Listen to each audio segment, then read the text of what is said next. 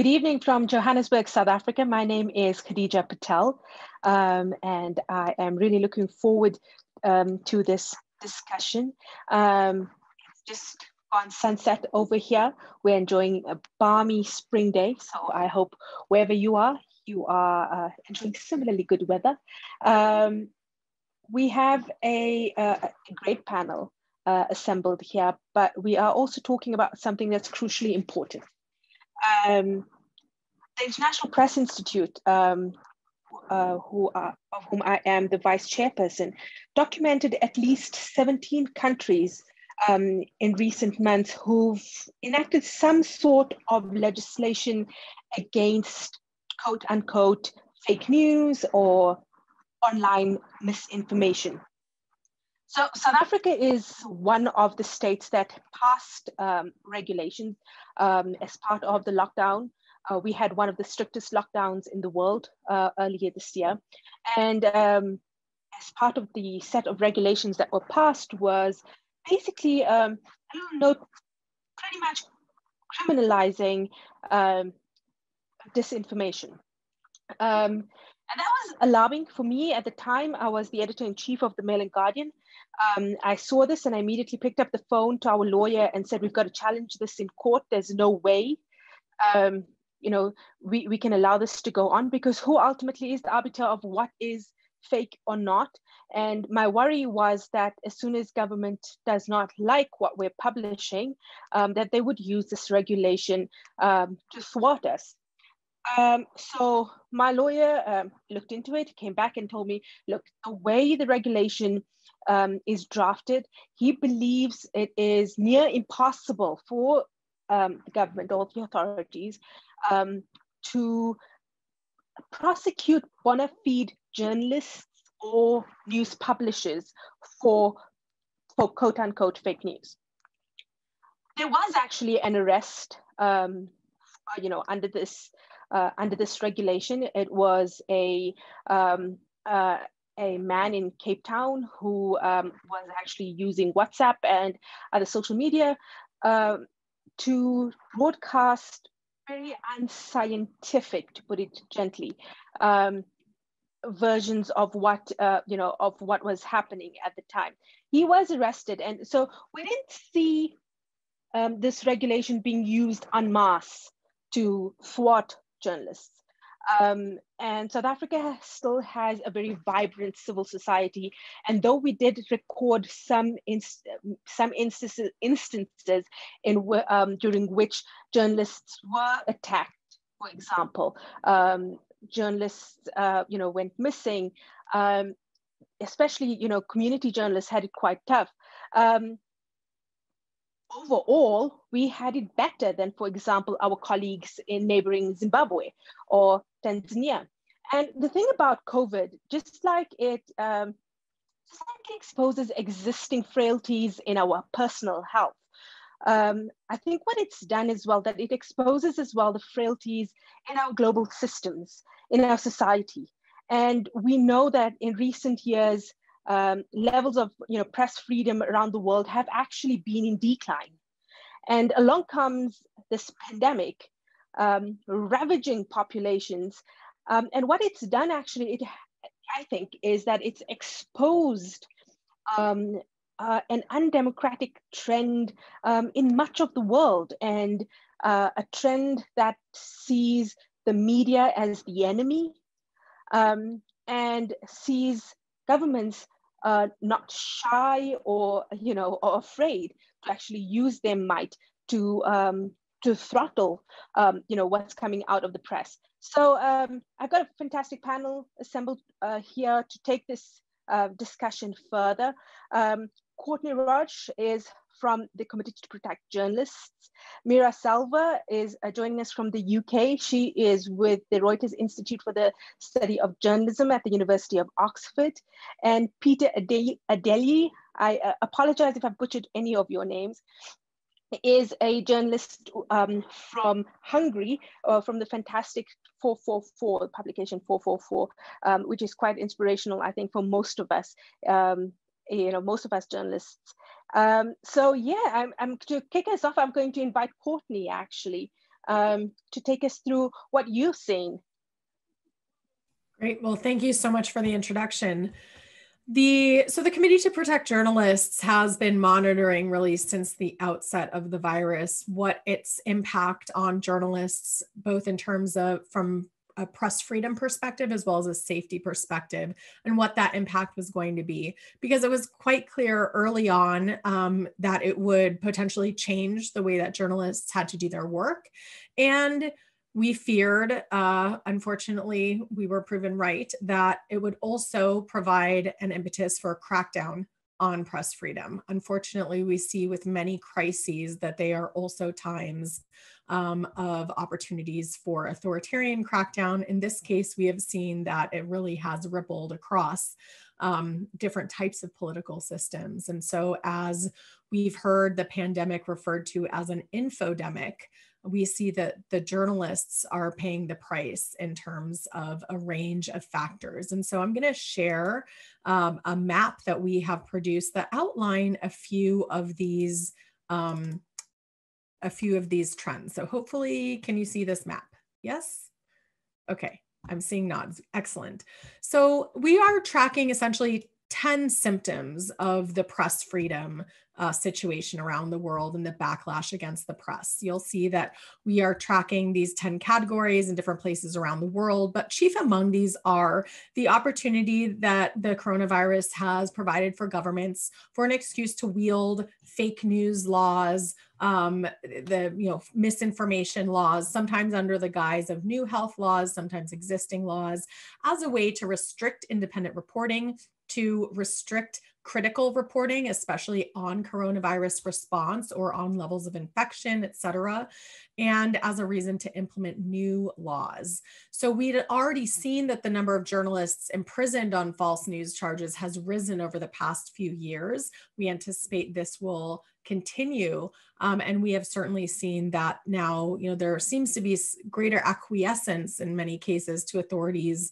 adopting the rhetoric around needing to, you know, prevent the spread of false news, but too often that is being used against journalists. We've also seen cases where journalists have even been expelled from a country, foreign foreign journalists, for example, in Egypt, and uh, a, a, reporter who reported critically and in contradiction of the official um, situation there was expelled. In we saw that Reuters had its license revoked briefly in Iraq after it reported on numbers that didn't comport with the official version. We have seen emergency laws proliferate. I mean, chief among these from Hungary, where Prime Minister Viktor Orban essentially has the right to rule by decree now. Um, in Thailand, where the government can correct reports that it considers to be incorrect and allows for charges under the Computer Crimes Act.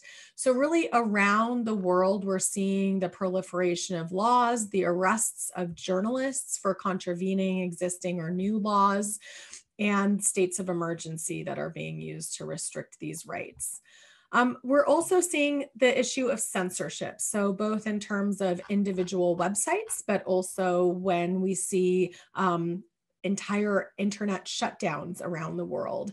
And this obviously not only restricts the ability of journalists to report and disseminate their information, but as obviously has broad repercussions for um, other people, you know, in that society.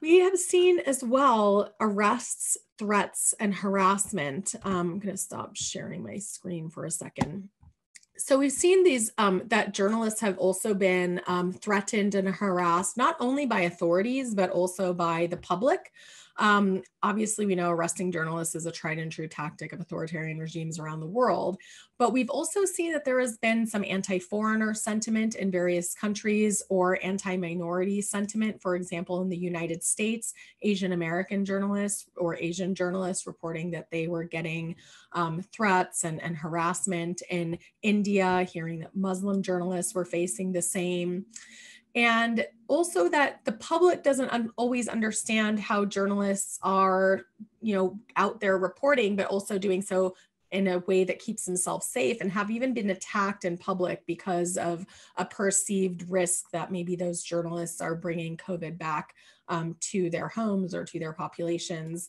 We've also seen that in some cases, there are authorities who do not seem to be familiar with whether or not journalists are restricted by quarantine requirements or by stay at home orders. Um, there was a case, for example, in South Africa, which um, Khadija mentioned earlier, the situation there, um, and, and, and elsewhere in the world where authorities have arrested or detained um, or assaulted journalists who are out trying to report during COVID. Then we've got the issue of, you know, all these journalists, uh, you know, with the exception of those who are out on the front lines reporting or who are photojournalists and their nature of their job requires them to be out. Many journalists are working from home. They're working from their computers and relying on digital technologies to do their reporting. As a result, they are particularly susceptible to hacking, surveillance, and other sort of, um, of course, online harassment and other sort of threats that come with working in a primarily digital environment. And the issue of online harassment has been uh, something that has really become endemic to the practice of journalism even before coronavirus. But in the wake, or I can't really say in the wake of coronavirus, it's still happening. But as we're seeing um, that more and more journalists, of course, and, and people in general are um, living more of their lives online than they already did, that online harassment is a real issue that journalists need to contend with, that we need to think about how we can have more proactive responses to not only depend on journalists and what they can do to keep themselves secure and safe, but also what the tech platforms and what policymakers can do to do the same. Because one of the issues that, of course, is part of this infodemic is the disinformation and propaganda campaigns that are being perpetrated by you know many actors including political parties and governments. And it's very difficult for journalists to counteract these coordinated online harassment campaigns or disinformation campaigns. And it makes journalism very difficult for journalism to kind of show out of the mix to to rise to the top of the social media feed to you know to get through the algorithmic um, kind of you know decision making that favors uh, exaggeration and extremism etc right? So there are a range of these types of threats and i just want to wrap up by you know pointing out that we've also seen the expansion of surveillance regimes around the world that are ostensibly designed to help combat the spread of coronavirus or to help people understand if they might be affected. And while there are absolutely, you know, obviously very real health related objectives to that, and there may be some, you know, ways that technology can be used to help combat the spread of the virus. The problem is that in many cases, these regimes are being um, rolled out and, and implemented without sufficient safeguards on how that data can be collected, who has access to it, how long will it be maintained, and how can it be deployed. And we don't have yet any instances um, that I'm aware of journalists being targeted. But if we look at what happened in the wake of 9 11 and the so called war on terror and how that gave rise to a surveillance apparatus that was then deployed against journalists, I think that we all need to be aware. So, in a world when that's what we're seeing around the world um, with respect to the different types of threats and challenges that journalists are facing. Thanks so much, Courtney. Um, there's a lot to chew on and we'll um, maybe unpack um, a little bit of what you said um, during the Q&A. Um, but I'm gonna turn now to Meera. Um, please take us away. Hi, thanks very much, Courtney. I thought it was a really excellent overview of what's happening, very, very comprehensive. Um, I agree with everything you say, so I won't repeat it. I think the two things I just wanted to highlight is that we're in this kind of very strange environment of what is a journalist and who decides what a journalist is. And this has been an ongoing debate played out you know across societies but right now you have governments literally having to say we we give these sectors key worker status. We allow access to these individuals onto these parts of the street. And in many places you know we provide the licensing that allows journalists to go. This can be direct. This can be literally a kind of license to get into a press conference but it can be a kind of wider thing of are, are you given the right to travel to the next town? Um, and this is something that we see.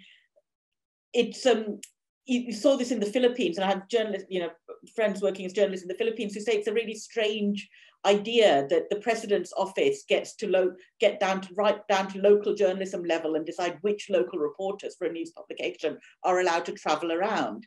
And this is hugely problematic for all the reasons you can imagine that you're giving authorities the um, the ability to kind of control this um, workflow, but also crucially, it's very unpleasant for the journalist involved because these licenses don't aren't linked to a newsroom or a story; they're linked to an individual. So that individual is the one who has to go out, and if they get sick or are unable to go or don't feel comfortable going, nothing, you know, then then there's a silence. That that that ability to travel can't be uh, moved elsewhere. So I think this is this is really dangerous, and we're only beginning to see the the kind of implications and the and the fallout from this. I think in many countries, because my real fear is that this will somehow become the norm. That we'll go, you know, we, I think a lot of governments for a long time have said we would like a system of licensed journalists, please.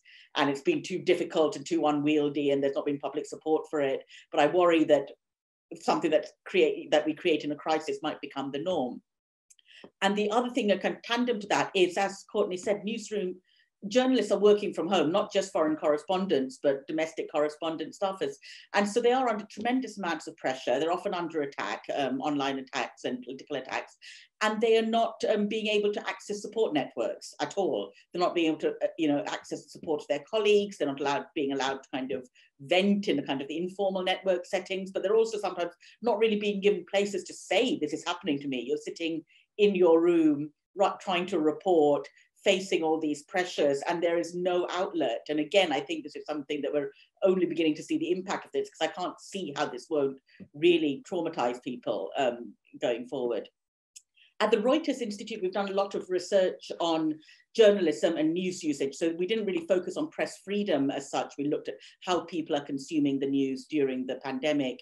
And but there are some interesting um, trends that I think again will impact on press freedom, which is that at the beginning of the crisis, there was an absolute spike in news usage. There was a rallying behind the media, you know, the value of independent journalism was very clearly understood, both independent journalism and crucially public sector broadcasting, good quality public sector broadcasting were um, you know, or they all saw spikes in usage with lots of people needing the information. That's fallen away, partly because it's become a very ongoing story. It's meant that other sort of stories haven't had any airtime. So people just get uninterested in the news because if you don't want to read the news on COVID, there's nothing else um, for you to entertain. And as governments mismanage um, the, the, the, the, responses to the pandemic, trust in media often falls along with trust in government. So you end up with a situation where the public is, is then kind of losing that original connection to journalism and journalists. And we have quite alarming research that shows that in many, in the UK, you know, many people, about a third, um, think that the coronavirus situation in the UK has been made worse by how the media, news media coverage, how the news media has covered it. So, you know, so it's not just that it, they're ambivalent or neutral, but they but they think that the news media is um, is making a, is a, making a difficult situation worse. Now, if you tally that with the tendency of authoritarian leaders to attack the press and uh, say that the press tends to make societal problems worse, you can see that this is again going into a very very dangerous space for journalism. Thanks very much, Meera. Um, a lot to unpack there as well. Um, but we're going to go first to um, Peter. But before I um, invite Peter to begin, I just want to remind the audience that um, you can use the Q&A box to uh, ask the panelists anything based on their presentations or any questions you may have for any of us really um, about issues related to media freedom um, and COVID-19, or perhaps share your own experiences with us. We'd be delighted to hear from you. Peter, over to you. Thank you. Uh, so before I jump into detailing the effects of the pandemic had on free speech in Hungary, let me give you a very brief, relevant background of our general situation. So the current government led by Prime Minister Viktor Orban has been in power for over 10 years.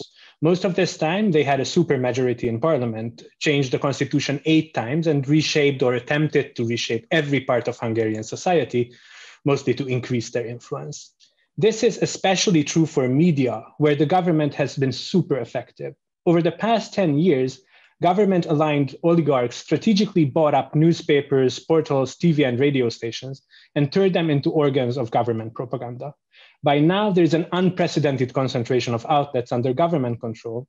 And almost and after almost a decade of complaining about an unfair media sphere, Prime Minister Orban said last September that he felt now the right and the left controls 50 50% of the media, which he thought was you know, a, a good way to look at it. The pace of new acquisitions by the government by government controlled entities slowed down, partially because there are very few independent outlets left to acquire. There was a kind of uneasy calm for about a year in 2019. Now, last October, the government lost some key cities during local elections. One of the contributing factors was a videotape that surfaced three weeks before the vote, which showed a prominent pro-government politician and a lawyer involved in some shady real estate deals taking part in an orgy on a yacht in the Adriatic. Drug use was also implied. I think this was a very important reminder for the government that their control of the media is far from absolute and a scandal like this could hurt them politically. It spread like wildfire despite the pro government outlets trying to ignore it. When the pandemic and the lockdown began, audience number, and this is uh, something Meera mentioned, for, for the remaining independent outlets skyrocketed. When people needed reliable information to make decisions about health, life, and security, they knew where to turn to. I think this was another important lesson for the government. They built a huge media empire, but it was not really effective in a time of crisis. While the COVID situation right now is really bad in Hungary, we had it relatively easy during the first wave. And because of this and the rally around the flag effect, the government was really popular. The pandemic was and still is the first thing on people's mind. It's, it's not free media that concern most people. Now we had Index. Uh, they were the largest independent online outlet in Hungary. They had problematic ownership for a decade, but they learned to produce great independent journalism, even, uh, even under government-friendly owners. So you have this realization that you need more control because of the scandals last year and after seeing media consumption patterns as the virus spread people worry about other things than free speech, and you have a boost in popularity. The next general elections are scheduled for 2022, two years away. If you, if you want to do something major, this is the opportunity. And you have the largest independent portal, a thorn in your side for a long time, where you can influence the owner. So I think this was a perfect storm. And so the editor of Index was sacked in July. Most of this, uh, the staff walked in protest, and government aligned actors took over soon after. This was no master part. There was no master plan. There rarely ever is. It's a constant cost benefit analysis, in my opinion. What can be gained by taking over yet another outlet? What's the potential political cost? It was a combination of the above factors and the opportunities created by the pandemic that led to this, but the results are devastating nevertheless. Independent index is gone. They also operated the largest open blogging platform used by the most prominent civil society organizations from the Hungarian Civil Liberties Union to various LGBTQ groups. And now they don't have a conduit to reach mainstream audiences. We are trying to build something quickly, but it's, it's not a trivial exercise. In addition to all of this, the government wants to extend its influence beyond traditional media. And this is where our fake news law comes in which I, I'm not sure that it's aimed at journalists or aimed mainly at journalists. So as the virus began to spread, the government pretty much centralized all related communication. Only the Surgeon General and a few police officers were officially allowed to talk to the press on COVID related issues. If you call a hospital and ask about the number of patients they have or a research institution about the tests they use, you are told that they can't answer your question and you have to turn to the central government communication office. While there is a daily broadcast by the Surgeon General and this, select group of police officers. And in theory, you can send them questions via email. They just ignore any questions they don't want to answer. So there's, there's no way really to ask anything. Now, during these daily broadcasts from the very beginning, the police began talking about the threat of fake news and fear mongering. Almost every day, they talk about how people can only trust them, official communications by the government, and no one else. In the spring, the parliament adopted a really vague law that threatens anyone with a five year prison sentence who spreads information that hinders the defensive efforts of the government. Viewers of the government's daily broadcast are constantly reminded of this. Be super careful about what you share on Facebook. It can really be dangerous, it can get you into trouble. So I don't think this is aimed at professional journalists. We have good lawyers and in-depth understanding of the relevant laws and our environment in general. But I think most people are not expect, ex, experts on what constitutes free speech and why would they be? I think this is potentially intimidating and it can discourage ordinary people from speaking up. In the middle of May, police raided the homes of two individuals under this legislation and detained them. Both of them posted stuff on Facebook critical of the government and its handling of the crisis. An opposition mayor of a small town in south of Hungary was also investigated after posting about a possible infection in his town. The charges were later dropped in all these cases, but I think the damage may already be done. A healthy public discourse goes beyond professional politicians and journalists. We need the voices of teachers, doctors, business owners, your local bus driver. And when people see their neighbor being taken away by the police for something they shared on Facebook, it could be intimidating, regardless of whether they end up in prison or not. The police raiding their home in dawn is, I think, warning enough. I think this is also an attempt at controlling story spreading in social media, something that could potentially could hurt the government as they learned, you know, during the yacht orgy scandal most recently. The Hungarian Civil Liberties Union operates a legal aid hotline and reported a sharp increase in the number of people asking them about what they are allowed and not allowed to say on social media under this new legislation. People are asking them if they are allowed to post about their own experiences in hospitals, for example. Like my first example with Index, in my mind, this is also a gradual process. It's not like the prime, prime minister suddenly got up one day and said, let's arrest people over their Facebook post. The government wants to control as much information as they can. They are trying to discourage people from sharing anything other than the official line. This is partially done by exagger exaggerating the threat of fake news. The police is under pressure to bring in cases. And because of the past decade of dismantling checks and balances at institutional independence, they can't resist since we don't have a huge COVID related fake news problem, but the police still wants to satisfy the demand of politicians, they start to bring in weaker and weaker cases and end up the, raiding the homes of completely innocent people. I think it's important to understand this an indirect mechanism. It's not a madman shouting mad orders. It's a gradual, slow erosion of every institution that ultimately leads to this in Hungary. The gradual nature of this process makes it difficult to properly and identify. And by the time you cl- cross a clear lead line, like arresting people for critical Facebook posts, it's very difficult to turn back. I began my career 20 years ago, and in my opinion, this is the most difficult time for Hungarian media and free speech in general since the democratic transition of 1989. In a crisis like this, it's almost inevitable for governments to gain more power. And in Hungary, this extra power, least parts of it, is used to further restrict the space for independent media and free speech. Thank you. Thank you very much, Peter. And I think that you've illustrated the point that these laws, um, you know, cannot be seen, um, you know, in isolation because they have such a chilling effect on democracy in general and, um, you know, people's ability to just express themselves. Um, that it is, you know, it, it is something that we have to consider more thoughtfully. Um, I'm going to start with you because there is a question for you in the Q&A box about um, your map and uh, Tule Atay um, is asking why you don't have any data recorded for Turkey. Um, I'll have you respond to that. Um, sure. So, I mean, what I showed was a static map. We actually have on our website a, a more interactive map that uh, plots a lot of the incidents that we have reported on. I mean, I'm also looking, you know, on our website and just in the past month, we've reported on, you know, the trials that journalists are under, the asset seizures, all the cases against journalists, the the you know the compromised institutions we actually just did a, a press freedom mission that was largely virtual um, with some people on the ground as well there to Turkey because it really is one of the most challenging places to be a journalist. Consistently leads as the world, you know, one of the world's leading jailer of journalists.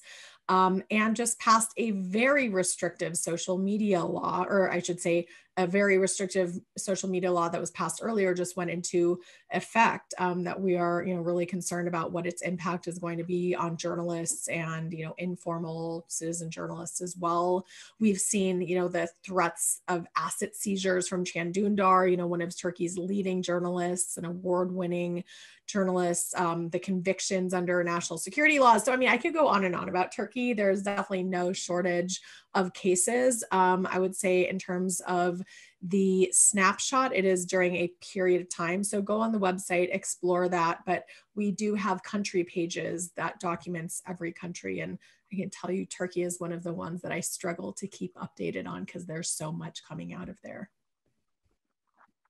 Courtney, I'm going to um, take you up on, you said you, um, CPJ uh, recently um, undertook a press freedom mission to um, Turkey. As someone who, uh, you know, who also goes on press freedom missions um, and hasn't gone on a press freedom mission this year, largely because of COVID, um, tell us a little bit about how the pandemic has also affected advocacy for media freedom. Yeah, you know, it's been it's been challenging. I, I, have to say, like on the one hand, Zoom or whatever platform based events are great because you can include potential participants that wouldn't ordinarily get together. More people can, you know, hear and and and, and listen to them and ask questions, which I think has real benefits. On the other hand, when we can't meet in person with government officials or you know have the the those those in-person missions to meet with journalists to hear from them directly about what's happening to send a signal you know to uh, repressive governments that there is a vigilant international community watching and supporting their local journalists and attempting to hold them to account i think uh, you know i think we're seeing it's it's become very challenging you know we're just as journalists are limited in our ability to go out um, you know we are not having the same types of, of meetings that we had but I, I, I will say that we have continued, you know, in, in countries like the United States and Europe um, that do regularly consult with civil society is they have done, they have moved some of that into a virtual setting.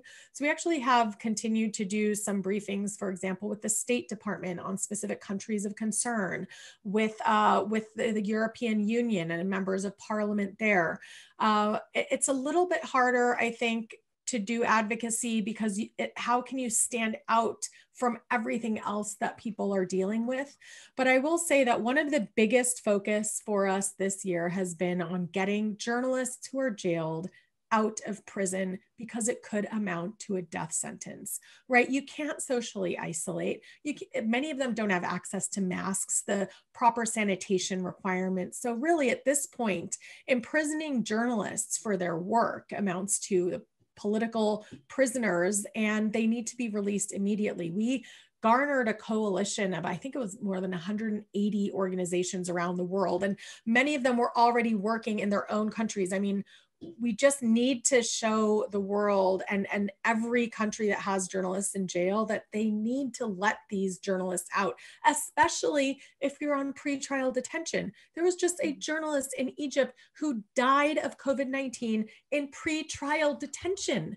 I mean it's it's just it's criminal. So you know we, we wrote to the UN secretary general. We asked him to make this a top priority. He emailed us back a letter you know, but we weren't able, you know, there was no UN General Assembly this year. We couldn't hold a protest, you know, we, so it's definitely changed things, but if anything, we're busier than ever because um, we're not spending the time traveling here and there. So, you know, there are pros and cons. I mean, my, my commute from the bathroom to, uh, to my desk, arduous. Uh, just uh, another follow up from there. Um, converting these meetings that are often difficult at the best of times. Uh, you know, for example, if you take the Turkish government, um, I would imagine that is, you know, some of those meetings are downright hostile. Um, considering, you know, the pandemic, um, have you felt a softening at all um, from authorities, or are you seeing them, you know, more indifferent to journalists? So um, one one I would say that uh, many countries, despite repression, are very good at speaking the terminology of the international norms and international human rights law. So it's kind of like you know 1984 double speak or news speak. So uh, you know it's it's actually relatively. I wouldn't say we have a lot of openly hostile meetings. I mean, we definitely stick it to them, but uh, many authorities are well versed in how to speak this language of international rights, even though it may not translate into anything meaningful on the ground.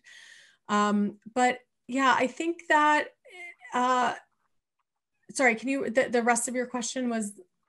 So yes, uh, I'm, uh, I wondered whether the pandemic has led to any softening in the oh. attitudes.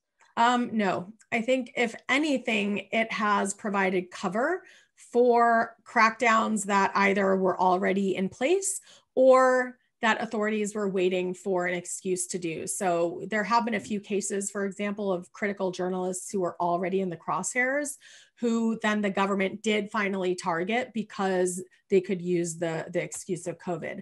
I mean, it is really, it was it was really hard with terrorism you know when you're trying to defend a journalist and they're being accused of terrorism it's equally as hard in a health pandemic, eh, potentially even harder because individuals the public feels it in their own life. And so you know there seems to be a lot more leeway given to governments to you know control information to restrict access to set the rules of the game who gets to go out who gets accreditation you know all of those you know everything um, related to that. So I think it's become harder. And people are, you know, they, they want to prevent the virus, they want to get back to normal life. And so, you know, a lot of people aren't able to or, or don't want to push back on these surveillance regimes that are being rolled out. They're not, they don't want to wait until the human rights impact assessments are done or until the safeguards are put in place. And so, uh, I think it's provided a serious and significant cover for authoritarian and democratic uh, governments and regimes alike. Thanks very much. So question for, for Peter from Paula. Um, and she asked, do you think that the current mass protests sparked by the Hungarian government's move to impose tighter control over the University of Theatre and Film Arts could mark a turning point in public opposition to the government's attempts to curb freedom of expression? I'm, I'm not too optimistic, unfortunately. So this has been going on for uh, over a month now. Uh, it lasted a lot longer than I personally expected it to be. And uh, i really admired the efforts of the of the students at the and the teachers at the university. But i don't think that this is an issue that goes beyond you know budapest and really speaks like i don't think this is again one of the issues people i'm sure it's concerning for some people that this is happening but there with you know rising unemployment and other very serious sort of life and death issues for a lot of people, I think this, you know, is just not on their priority. I don't see that the like this can go on, and obviously it's very unpredictable what's going to happen. But right now, there's no incentive for the government to crack down on this. They can just let this go. It's not really threatening their, you know, rule over anything. And then the students are, you know, protesting or in the university buildings. They have hold their own classes. I don't I don't see this as gathering more momentum that it, it already has. But you know, I'm not an expert on on this, so this is just my very subjective assessment. Thanks very much, Meera. Um, you know, we we've just heard from Peter. Uh, um, I think very startlingly. Many of us, I think, have followed uh, you know events in Hungary over, in, in, recent years from a distance, and you know and, and noted um, egregious um, violations of human rights. But you know the way he's you know he's actually illustrated the the the control of inf- of information in the public sphere is really scary. Um, and you know so on the one hand we've got this tendency that you know this documented tendency around the world um, for uh, you know governments to act in, a, in, a, in an authoritarian manner and um, and impose restrictions on the way uh, the press does its work And on the other hand, the pandemic has also been an existential threat to independent media as well, commercially. Um, and we're only likely to see the effects, you know, of this in the coming months and perhaps over the next year. Um, I know here in South Africa, uh, uh you know, nearly every newsroom um, had to take salary cuts, there were um, mass layoffs, um, and this and no one's out of the woods yet.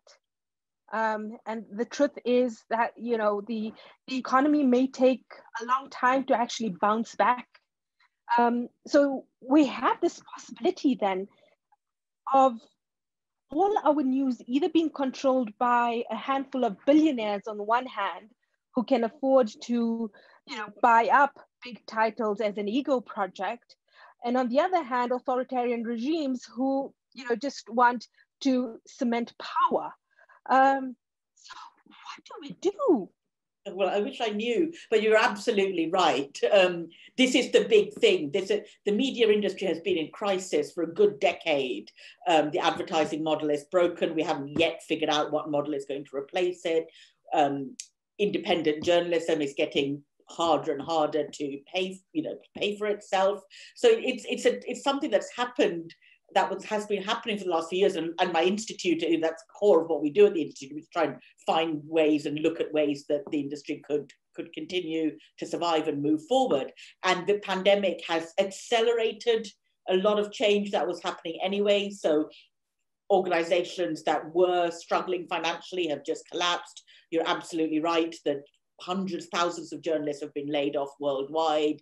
The advertising revenue model, which was falling anyway, has again plummeted because we're not out and about and spending. So what you know what what would advertisers be paying for and then on top of that you've got the other trend which has also been happening which is a disaggregation of news so that it's consumed via social media on platforms that aren't controlled by the news agencies so it becomes hard for people to know who's giving them the information they're reading and therefore what what are they paying for and who who monetizes this. So this is an ongoing trend that absolutely has been um, has been hastened. What we saw in the immediate aftermath of the crisis was a lot of emergency funds, the Internews, Luminate, you know, lots of foundations jumped in and said we need to get emergency funding to newsrooms just to get them to survive. So this is the equivalent of the government furlough schemes that have just kept people going through the lockdown. There have been, but these are these are temporary and short-lived. The, the amount of money that can be disbursed through these schemes is not going to solve the problem, but it might carry them through a few months. And crucially, it might raise awareness of the fact they exist and raise awareness of the dangers here. If you're saying this industry is on its knees so badly that we need a rethink.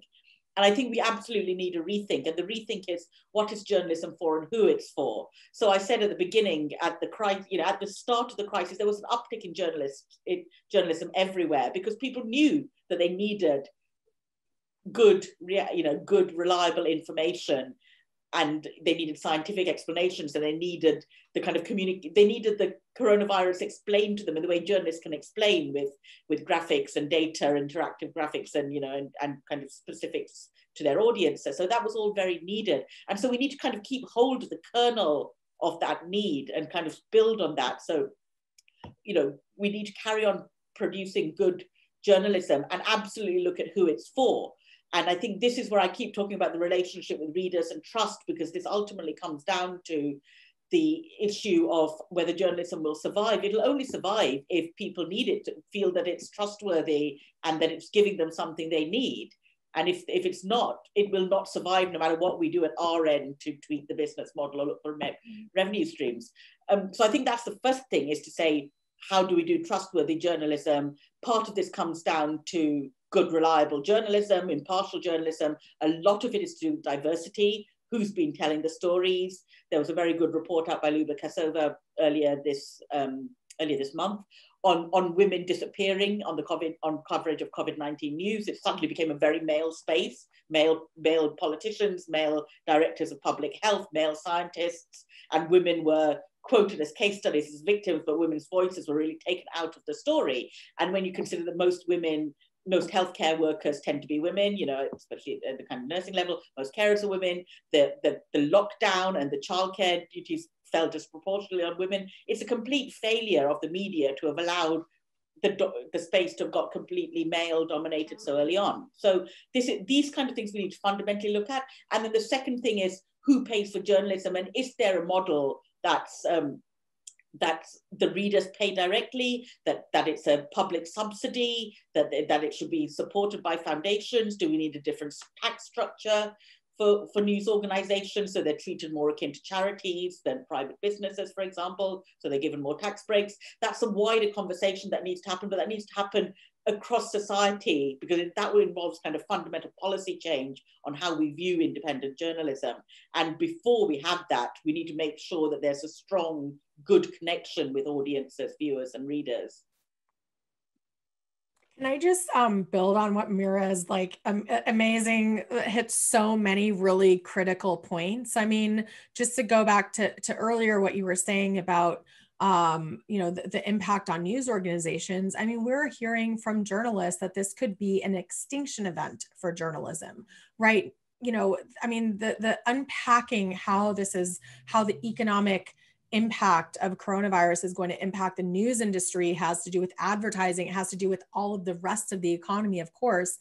But then I just shared um, in the chat, you know, look at freelancers. Freelancers have seen their their livelihoods decimated. Um, you pointed out very importantly about the the importance of journalism reporting on COVID, but that compounds the problem of the news hole, right? For several months, and, and even now, it's hard to report on anything that isn't about coronavirus. And what does that do to reporting on other public interest issues, on issues of corruption, on human rights, on women, you know, any, any issue, it has to have a COVID angle to even get through. So that has huge potential societal implications. And the importance of local media, you know, of course, we hear these great um, anecdotes about how the New York Times has seen all of these rise in subscriptions. But my guess, and this is, you know, CPJ doesn't track this, we read the great research produced by the Reuters Institute and others. But it seems to me that, you know, that is the exception, not the rule. We have seen local news being devastated. And of course, if you can't afford to pay journalists or freelancers to cover those communities, these people are never going to meet a journalist. They're not going to see journalism and why it matters to their daily lived experiences. And when you talk about women, it's not only, I mean, that's fascinating. And actually, if you can put that study in the chat, I think that'd be really interesting. Yeah, I didn't absolutely. see that, but like really concerning compounded with that is, and again, this is not our research, but I think the International Women's Media Foundation and, and other groups that focus more on gender have seen that women journalists are increasingly also having to have the childcare duties or the educational duties or take up the, you know, home house care duties. And so they're also potentially that's having an impact on who is actually making and doing the news in terms of journalism and, and producers. And so, I mean, again, like I feel like we've touched on 500 topics here because it is so it's so challenging to create the the conditions created and you know just to the last point about the economic model from a press freedom perspective i think that if we think about pluralism as a guiding principle for how we fund the media that you want a variety of different types of media support yes you want the private corporate sponsor advertising driven media but you also need public interest media. You need publicly funded media. You foundation you know all sorts of different models so that you have different um, impetuses for doing journalism for how they how they're you know what they're focused on how they're funded and how those funders do or do not influence their editorial line. Um, you know but we also want to make sure that we're not i mean this is just pers- my personal opinion but you know uh, if you only rely on you know foundations to fund certain types of journalism then they're going to decide what they think is important.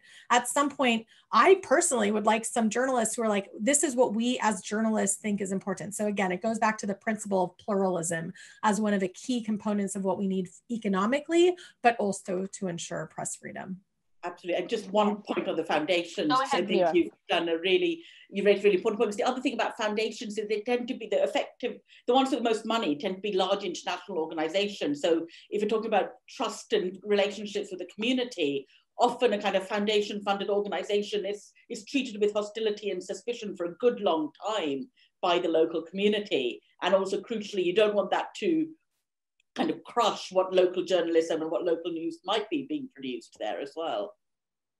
Yeah, and I guess uh, Hungary is a very, very good example of that. Um, with the campaign against Soros, for example, um, over there, it, it's a very, a very stark example, I guess, of um, you know of the, some of the dangers of donor-funded journalism. And yeah, I guess on the other hand, what we are struggling to do really is build credibility um, for uh, you know for, for what we do. Um, I often tell the story of I was once um, you know moderating a panel um, about xenophobia at Wits University, which is a university in Johannesburg. Um, we've got a huge problem with xenophobic violence um, in South Africa, and we have these kind of like spurts of uh, of violence against foreign nationals um, every few months or every few years. Um, so you know, so because xenophobic sentiment is also so pronounced, it, it is a very difficult subject to navigate. Um, so we're having this very difficult discussion, and a young man in the audience uh, puts his hand up and says, "Okay, I have nothing to say about xenophobia. I just want to speak to you." And at that time, um, you know, I was still at the Mail and Guardian as editor in chief, and says, "He says, I love your publication, and um, it, it does great work. Um, why is it so expensive? Um, I, I, can't afford it. Um, and so the Mail Guardian is one of uh, is the most expensive um, sort of newspaper um, in the country. And so I listened to him, and then uh, you know, he was very passionate about this. And then I told him that I also have journalists, you know, real people um, who have children and rent to pay, um, and we need to be generating some kind of revenue in order to keep doing this. And the remarkable thing is that I think until that moment, he hadn't actually thought of us as the Mail Guardian as a group of people, but rather as just a thing. And I could almost see, you know, this this awakening on his face where he realized, oh, people also need to eat. Um, and I guess you know that's one of the struggles that um, you know, that we have um, is to actually show our human face um, to our audiences and hope that somehow builds trust. Um, Peter, do you feel that would work at all? in Hungary? Um, I am, especially on the funding front, I'm right now optimistic. Maybe yesterday I was more pessimistic at uh, changes. So what happened with us is the digital advertising market collapsed uh, in the spring pretty much completely. And this was our main source of revenues. Obviously, that hit us really hard. We had to, as many others, introduce a round of cost cutting measures. We didn't fire anyone, but uh, but we, there was a decrease in salaries and so forth. But then uh, I think in late March, we turned to our audience. We have a voluntary donation program that has been going since 2017, and it's become an increasingly important source of revenue for 444. And it grew, like we got, I think, in April, we got twice as much money as we had like the, the full beginning of the year. So even though our readers are not exempt from the economic effects of the pandemic, they still thought it's you know important for them to to fund our journalism. And therefore and that was real money and that meant actually that was the money that meant that we didn't had to fire anyone. And in fact later during the summer after uh, after the government took over Index uh, there was another huge influx of reader revenue. In fact, it was so strange because usually we think about these things in, or at least I do sometimes, in a very technical way. Something happens, you need to launch a campaign, you need to make sure to to to, to send a message to your readers. Like there are things you need to do to to get people to donate money to you, and uh, you know it's it's part of a it's part of my job or part of our job.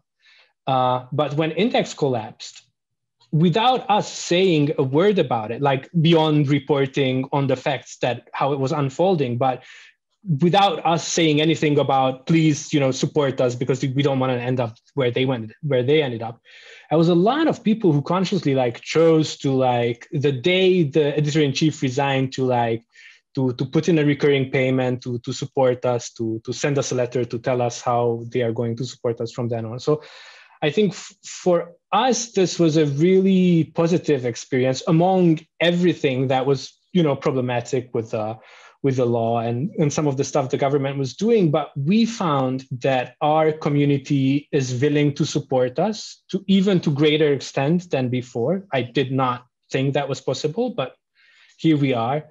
On the other hand, when um, when we spoke about like how the pandemic accelerate uh, accelerated some of the stuff that was always uh, going on, we were going to launch a membership program, and uh, obviously we needed to like uh, we need to accelerate that. And now we are at we have this impossible dilemma. We find that all around the world, the that you know lies are usually free, where truth is usually you have to pay for.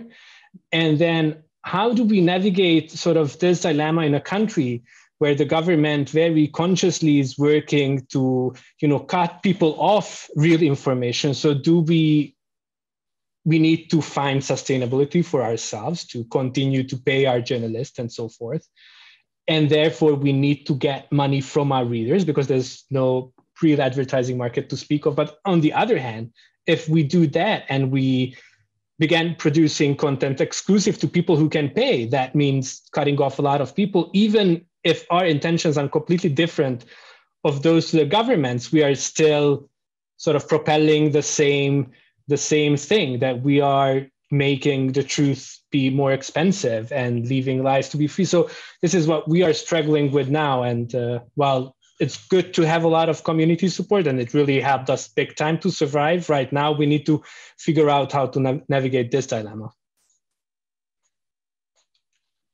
Meera how do we navigate um, this very treacherous terrain? I know uh, you know yeah, it is a difficult question because everything is uncertain. Um, in europe uh, you know various stages of new lockdowns happening um, with new implications on the economy and certainly with that on the viability of news media. But with that as well, um, new pressures on um, on the media coming from um, governments trying to control certain messages. Um, and at the same time, you know, we think about this year, and so much has happened. Uh, the huge Black Lives Matter protests that started in the U.S. and you know had resonance through so much of the world. Um, in South Africa, we've had a, you know a huge awakening moment to the scourge of gender-based violence, for example. Um, so much has happened um, in this year, um, and yet everything feels very, very uncertain. It's almost impossible for us to plan beyond you know kind of three pockets of three months, um, and it's then impossible then for us to also think about you know, what does the media look like um, in three months or six months or nine months? Um, so yeah. if you could, you know, if you were advising, um, you know, people, uh, uh, you know, journalists around the world, how would you say we actually navigate this this next yeah. period? Well, there's, I think there's a top down and a bottom up kind of response to this. And the top down response, especially, is very pertinent to Hungary, Poland, countries in the European Union that are facing a kind of systematic dismantling of independent media with a weaponization of advertising revenue, you know, malicious legislation, malicious lawsuits. You know, this is a deliberate, this is a deliberate and sustained attack on journalism that uses the courts, that uses parliament and it's you know they're doing it while they're part of the European Union. And I think it's fairly clear that there, as Courtney said, some of this has to be about holding governments to account. And by saying this, this, you know, it's about lobbying, it's about protesting, it's about saying you eh, this should be not this kind of behavior should not be permitted. And if you want to be part of this trading bloc if you want to be part of this community and the benefits that entails then you have to buy into the idea of an independent press and you have to buy into the idea of journalistic journalism journalism and journalist rights for journalists. So i think that's a kind of very top down effect where i think there's been quite a lot of good movement. I don't be too gloomy there's you know from the conference last year in london um, on defending on defending media freedom co-hosted by the british government and the canadian government and there's been kind of sustained some government actions to highlight this issue. And I think that that absolutely needs to be increased with the support of organizations like the CPJ. So I think that's the very top-down response to um, to this. And then the bottom-up response is slightly more complex, or much more complex. Um, and so firstly to do with saying don't don't make things worse. So in trying to solve problems, don't make things worse. And the Black Lives Matters movement is very interesting case study because it's a movement that grew and sustained itself and still sustains itself on social media, on Twitter, on Facebook pages, but especially on Twitter. And the media, the kind of mainstream media came to came to the topic quite late in the day. This has been something that had been uh, uh, you know, led by activists and civil society via social media. And we talked earlier about a lot of legislation that's kind of quite draconian misinformation laws. And what we see in Hungary, Turkey, is that you're absolutely right, Peter. It's about trying to stop all debate because again, the governments know what they're doing here. They're trying to say in the in the name of stopping misinformation, disinformation, we will produce laws that attack not just journalism but civil society as a whole.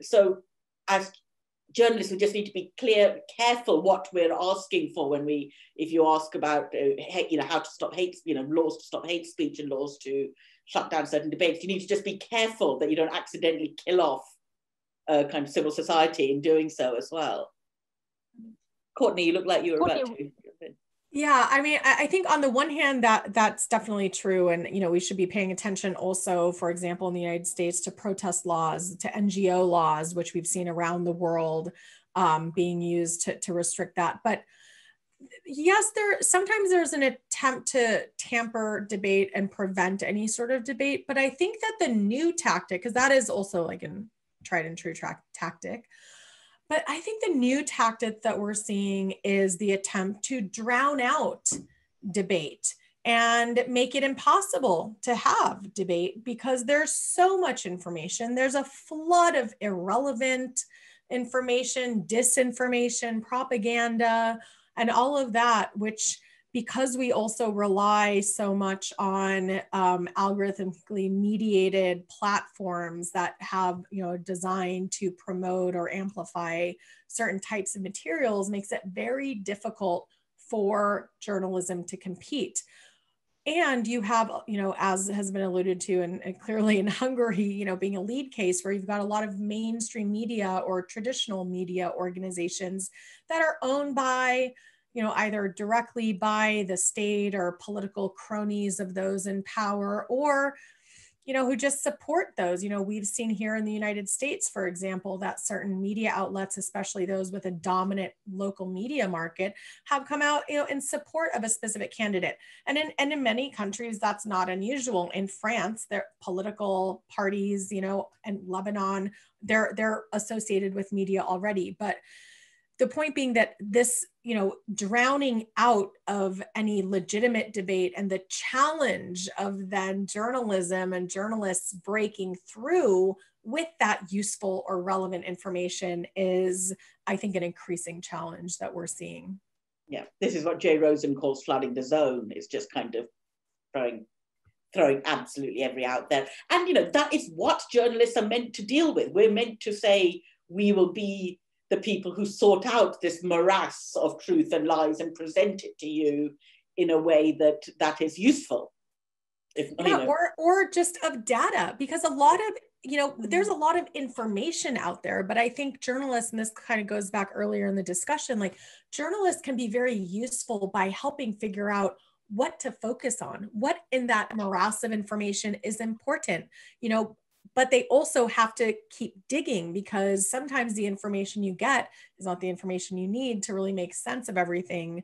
Um, and I think, you know, if you look at examples like the Paradise Papers and uh, the Panama Papers and these big collaborative journalism products that revealed, you know, all sorts of interesting insights and corruption, et cetera, it's not like those stories were sitting there obvious in the documents. Like they had to go through a lot of work to turn that that you know raw inf- data into information into stories and so you know we need journalists more than ever and they need to do more things than ever whether it's ferreting out what the story is or making sense of all of the information that's surrounding us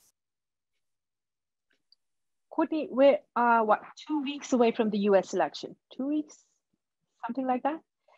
Um, and we cannot talk about media freedom and COVID 19 without actually talking a little bit about the US um, and um, what the potential for media freedom in the US um, is, you know, with the election. I saw, I think it was a Bloomberg report earlier today that said that um, they checked data and more and more people are buying gas masks and like riot equipment um, in the US. So there seems to be some kind of underlying fear of all hell breaking loose in some quarters. Um, and how do you think, do, would, is the media going to be okay through that if indeed that happens?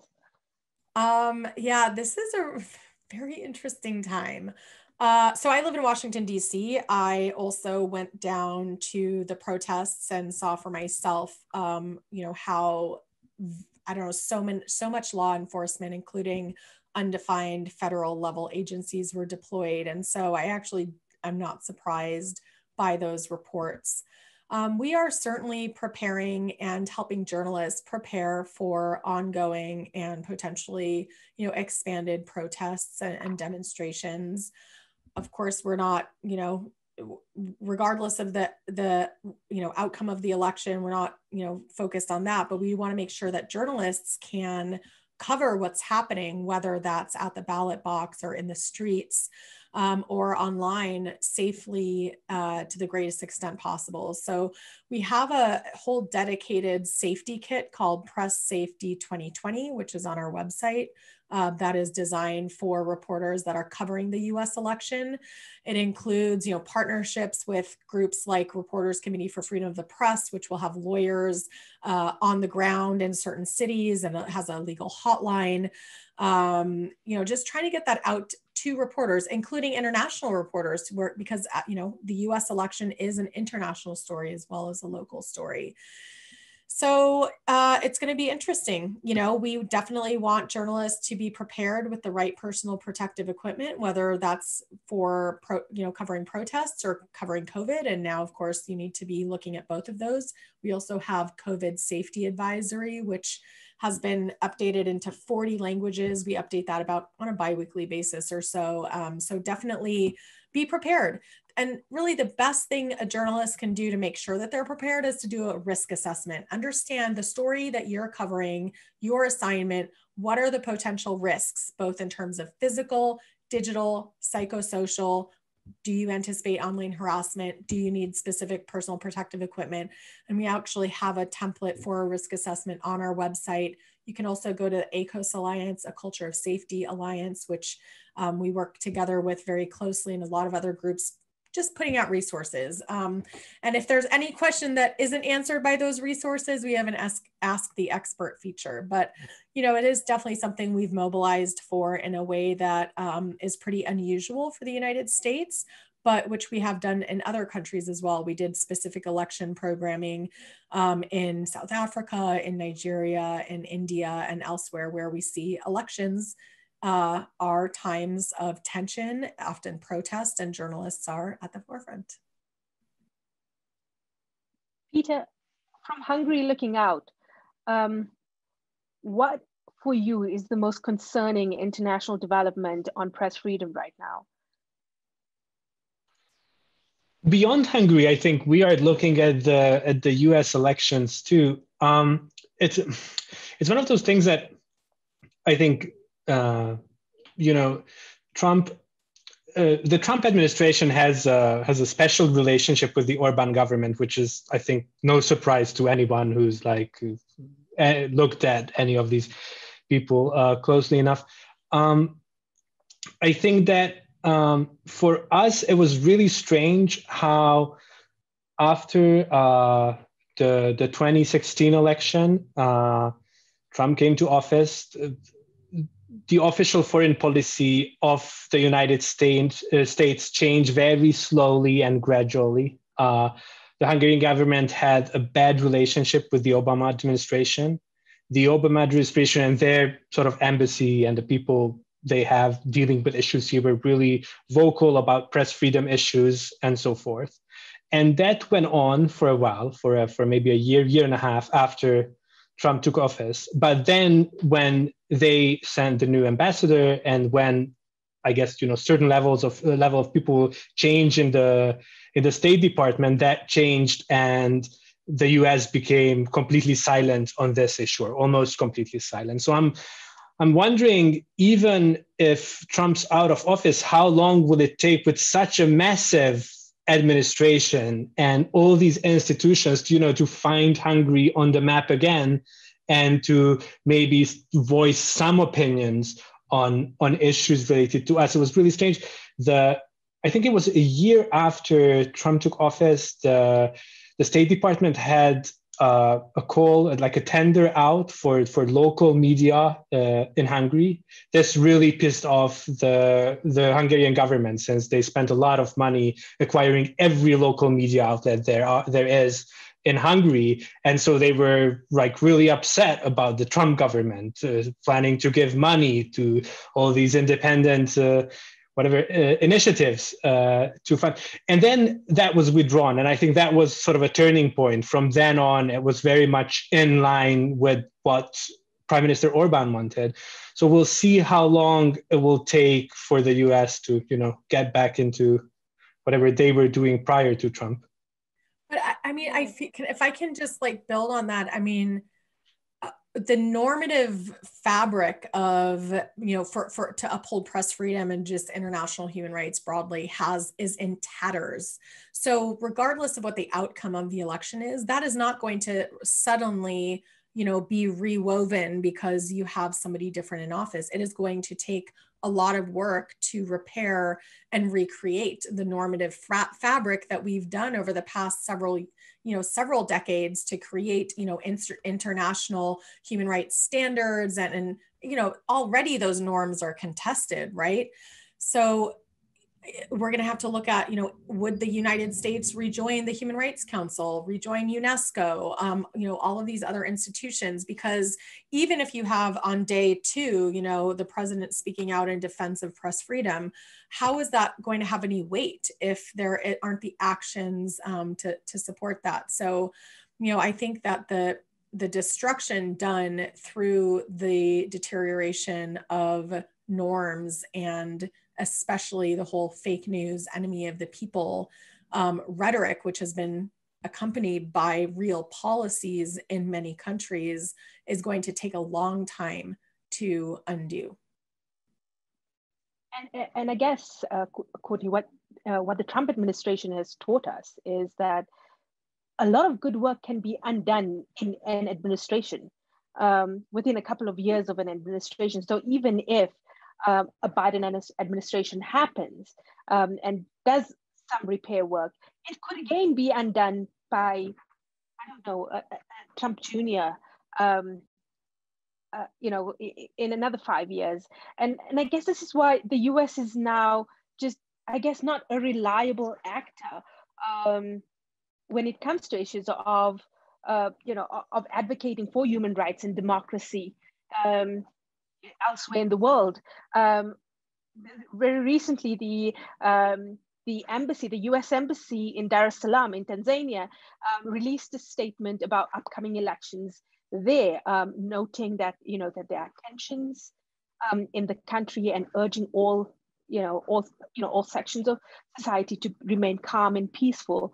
Um, and a lot of Africans just found great mirth in that statement because um, and I think, uh, you know, there was one particular writer who actually turned that around and said, um, here's, a, you know, here's my spoof letter from the African Union to the US, um, you know, cautioning the US on, uh, you know, tensions in, you know, in their own backyard um, ahead of the election and, uh, you know, cautioning them about, you know, protecting the rights of the press, etc. Um, and I guess that's that's what the U.S. has lost now.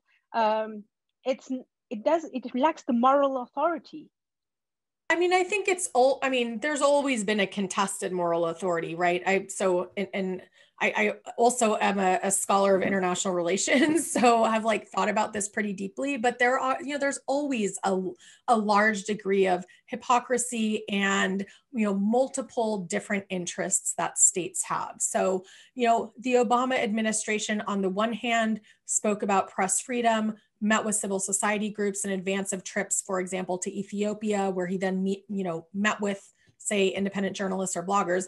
And on the other hand he also oversaw you know drone attacks that outside of the framework of international law um, and and you know there were more prosecutions of whistleblowers and the use of the espionage act that implicates journalists than any other administration combined. And he oversaw a mass surveillance regime that also was then used to target journalists. So again there's like always a degree of you know uh, it, states are and governments are multifaceted and have many interests but typically traditionally including for example under the bush administration again democracy promotion agenda devastating iraq war and war on terror that had all sorts of repercussions. But traditionally the US has seen as part of its interest the upholding of international norms and the perpetuation of things like press freedom, um, which we just don't really see anymore from either the president or Pompeo. I mean, Maria Ressa is a Filipino American journalist facing serious charges in the Philippines, and we have not seen the US come out strongly uh, in support of her. She's, you know, American citizen as well as a Filipina citizen. And this has huge repercussions for journalists around the world, not because the US was going to sweep in and save them, but there were cases where we saw an impact of, you know, uh, the US or the UK raising specific cases of journalists that that could then mean that they would get better treatment in prison that they would get a family visit at the very least that maybe we could prompt an investigation into a murder. And that's just a lot lot harder under this administration. But also it's not just the US it's also the UK which decided to you know launch this big global media freedom campaign in conjunction with Canada, get all of this, you know, press about their commitment to media freedom. And yet, on the other hand, you know, breaking international law, you know, not actually doing anything that has an impact to improve media freedom. We don't see them speaking out, for example, on Saudi Arabia, which you know has a devastating record. We don't see them taking up the mantle of pursuing justice for Jamal Khashoggi's murder when the U.S. has just let that you know go by the wayside. So you know, there's a lot of hypocrisy around the world, unfortunately, and we just have not seen any government come in and take up the mantle that the US let drop. So I think that's a nice segue to a question we've got in the Q&A box and any of the panelists can uh, respond to it. Uh, for some reasons, post-COVID-19, I see the rise and consolidation of state-backed and run news media in the global south. So I see the rise and consolidation of state-backed um, and state-run news media in the global south. I also see the rise of a more of more repressive governments. How do you guys see the state of government-funded media post COVID-19 and the role of independent journalism? Um, any of you want to take that? I can take that because I recognize the name. It's Alvin Njimbani from Botswana, who was also a journalist fellow at the Reuters Institute about two years ago. And actually, he, his paper was one I was referring to earlier when I talked about foundation funded journalism, because he um, quite rightly pointed out some of the risks and pitfalls of relying on foundation funded journalism if you are a small investigative startup in Southern, in Southern Africa, for example. So I'll put that in the chat as well. Um, how do I see the state of government funded media post COVID 19? I think problematic. And I think it, it, it kind of, we talked about this earlier as well, but what I've seen is that it seems to coincide with an idea of a nationalist narrative. So, on one hand, you get um, outright propaganda being blunt from uh, Ch Chinese state sponsored media from CGTN aimed at the English speaking world. So, posts um, coverage in English that um, presents coronavirus in a kind of very China positive way and uh, highlights how well China is doing while highlighting how badly other countries are doing. So it's just framing the narrative in a certain way. But you also see, um, again, the UK, the BBC, you know, the government, you know, using this opportunity to launch a very concerted and sustained attack on the credibility of the BBC and you know threats to its funding model and threats to its um, its independence and kind of again raising a kind of public almost raising up a mob against the public sector broadcaster, you know, say, you know, raising, kind of urging the public to be mistrustful of the public sector, sector broadcasting they're paying for. So I think this is very, very, very dangerous.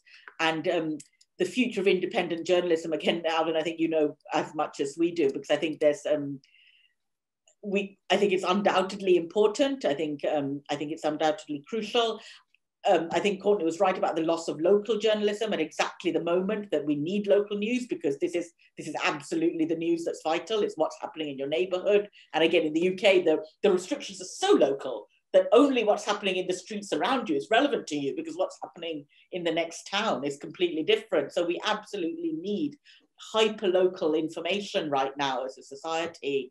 Um, and I, I'm it'd be good to see more independent journalism kind of filling filling that because there's a desperate need for that there. Um, anyone else want to climb in there? So, I think that um, Peter. Yeah, just uh, very quickly. I think that we'll see more state-sponsored journalism. Just I think by nature, as some outlets go out of business, there will be more opportunities. The state will always want more influence, more control over information, and their resources are, you know, a magnitude or a few magnitudes larger than private entities. I'm not. It was mentioned before how state sponsored, like how state funds or or public funding can be beneficial to journalism um, this is similar to the debate whether what's best if Facebook is let to be governed by itself or states are let to govern by Facebook. And I think in Western Europe, in my experience, the debate is is over. Most people think that states should be uh, responsible for uh, for governing Facebook to the to a greater extent. Whereas in Central Europe, if I think about our government, uh, you know, governing or, or regulating Facebook more than Facebook does regulate itself. It's not a it's not a good thought, and I think there's a divide here with state funding as well. I can't see any type of state funding as beneficial because our relationship with our state is, I think, fundamentally different than someone in a journalist in Germany or the Netherlands or even the UK I think people here that the lesson over the past 30 years since the transition was the more state funding there is in journalism, the worse it is, the more biased it is, the the more partisan it is, and therefore I don't see that route, but maybe it will work eventually here too. So we've, uh, we've got you know just a few minutes left and we cannot possibly end this um, end this panel on such a dour note. Um, where um, where do you find hope right now peter?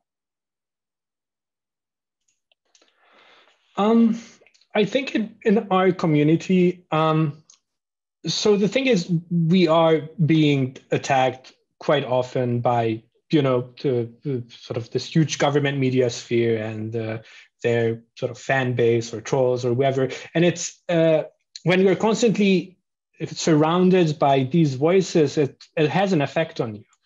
But sometimes it's good to to reach out to your own readers, to to read the, the letters people send you, and to look at the support you get, uh, even in a time of crisis. And for me, I that I think all in all makes me optimistic than pessimistic about our future. It's it's an incredibly challenging time, and what's happening right now has you know uh, tomorrow can be completely different. We there can be a another wave of the disease. There can be even more serious economic crisis. It's all very volatile. But but I think it's always worth you know talking to your readers, reaching out to them, trying to you know put some institutions in place to to have like a community uh, to get feedback because most of it is at least in my experience positive and you can you can draw a lot of strength from it or at least we could. I agree. I agree. Meera um, you spoke about um, something that gave me a lot of hope earlier this year. Um, in the first stages of the pandemic outside of china i think nearly all of us saw record numbers of people on our websites. Um, I was going to sleep with, you know, with my phone in one hand, just looking at Google Analytics with a smile on my face, um, because it was just such a beautiful thing to see. Um, and uh, you know, and that gave me hope because you know, as you know, as all the panelists have said, that in this really curious moment in human history, people understood the value of good information, um, and they sought it out. They actively sought us out for that. Um, that gave me hope. And uh, what gives you hope?